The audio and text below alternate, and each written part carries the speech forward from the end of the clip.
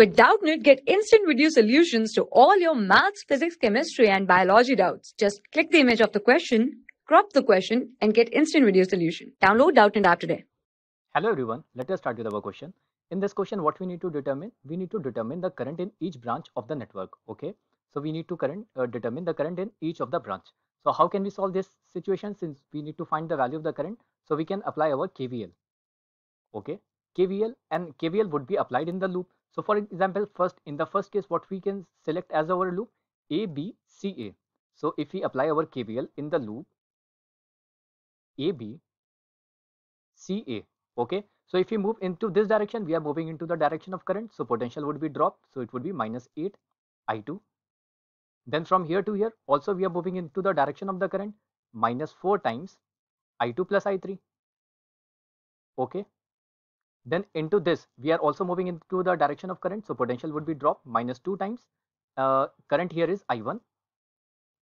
And from here to here, we are going from negative to positive. So we are gaining potential. So plus 10. This would be equals to 0. Okay. So if we solve this, then it would turn out to be minus 12 I2 minus 4 I3 uh, then plus 2 uh, uh, this is minus 4 this is uh, for i3 and then with i1 it would be minus 2 i1 plus 10 this would be equals to 0 okay if we divide it by minus 2 whole expression if we divide it by minus 2 so it would turn out to be i1 plus 6 i2 plus 2 i3 this would be equals to 5 this is our equation 1 okay similarly we can apply our kvl in the loop uh, this loop uh, this uh, A, C, D, A. Okay, we can apply our KVL in the loop A, C, D, A. So KVL in the loop uh, this uh, C, uh, C, A, D, C, C, A, D, C. Okay, we will be moving according to the loop. So here also if we see, so from here to here we will be losing potential, dropping potential in the resistor. So 2 into I. From here to here we are moving from negative to positive. So we are gaining potential plus 10 in this branch we are moving into the direction of current because we are moving in this way like this so potential would be dropped across the resistor minus 8 times this is i1 minus i2 current value. And from here so we are moving in this direction but the current is in the opposite direction. So will we be gaining potential. So it would be plus. What is the resistance? For what is the current value? I2 uh, this would be i2 plus i3 minus of i1 now net in a loop would be equals to 0. Okay, we come back to the C, C location. So if we solve this expression, then our result would turn out to be, our expression for current would turn out to be 7I1 minus 6I2 minus 2I3. This would be equals to 5. This is our equation second. Okay, we can take the term I1 and, and I2. So this term is basically I1. Okay, then we will be getting this uh, value of the uh, this our equation and we also need to uh, divide the equation by 2 now what will happen uh, then uh, we can get our uh, third equation from here. Because there are three variables i1 i2 and i3 so we have found two equations. So third equation would be getting from this loop. If we move from b c and b uh, then c then d and then moving from let's say this point is e then b uh, d e and b. If we choose our this loop. So kvl kvl in the loop b D, then E, and then B. We are returning back. So from here to here, the direction of current is uh, in this direction. So we'll be dropping potential. It would be 4 times I2 plus I3. So we write 4 times minus 4 times basically because we are dropping uh, the potential would be drop uh, I2 plus I3. Okay. Now this is one. Here also we are moving into the direction of current. So potential would be dropped. So minus 4 times.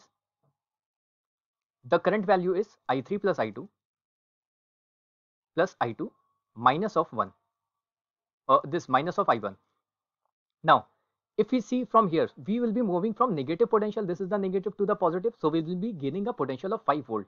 So plus 5 we will be gaining potential of 5 volt plus 5 so net would be equals to 0 okay? Now if we solve this then our final expression would turn out to be minus 2 i1 plus 4 i2 plus 4 i2 plus 4 i3 this value would turn out to be 2.5 okay now if we, this is our equation 3 now if we solve solving uh, solving 1 2 and 3 1 2 and 3 if we solve this then our values of I1, I2 and I3 would be I1 would turn out to be 1.25 ampere. Okay.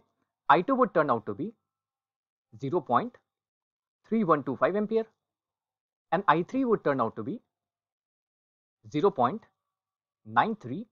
0.9375 amperes. So these are the values of I1, I2 and I3. Okay. Now we need to uh, find the current in each of the branch. So in the branch AB, what is the current value? Uh, we just write uh, in the branch AB. Current value is equals to what? I2 and I2 value, we are just writing the current here. Okay. In this branch, we are just writing the current, current value in terms of ampere. So I2, I2 value we know, uh, uh, we have just found the value of I2. I2 value was 0.3125. So we write the answer as 0.3125. Okay, this is the current in the branch AB. Now in the branch BC, this branch, what is the value? It is I2 plus I3. So I2 plus I3, that means 0.3125 plus 0.9375. If we add these two values, so our BC would turn out to be 1.25 ampere. Now in the branch, uh, then we can find from C to D, uh, sorry, C to D in this branch. C to D, what is the current? This is uh, uh this I2 plus I3 minus I1. So I2 plus I3, uh, that is the current which is going here minus the current. So I2 plus I3. So this value I2 and plus this value. So this value summation we have just calculated 1.25. So if we subtract uh, I1 from this, so the net answer would be equals to 0 because it would be I1 plus I2 value is 1.25 okay if we subtract i1 so it would be 0 now similarly from c to a what is the value of the current in c to a so uh, c is this a is this. So it is equals to i1 i1 value we, we know it is 1.25 we can see i1 value is 1.25 so 1.25 ampere. Now what is left? So our left is a to d. A to d is i1 minus of i2 a to d we just write. A to d would be i1 minus of i2 so i1 is 1.25 minus uh, 0.3125. So this answer would be 0.9375. Okay, similarly, we are just left with uh, our dB uh, with this. Uh, we are left with this I3 uh, value, or we can say that DE or EB. So DE.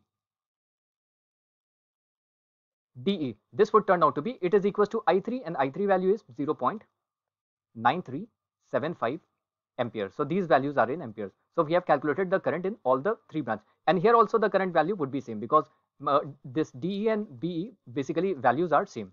Okay. So hope you understood this solution. Thank you. For class 6 to 12, IIT JEE and NEET level. Trusted by more than 5 crore students. Download Doubtnut App today.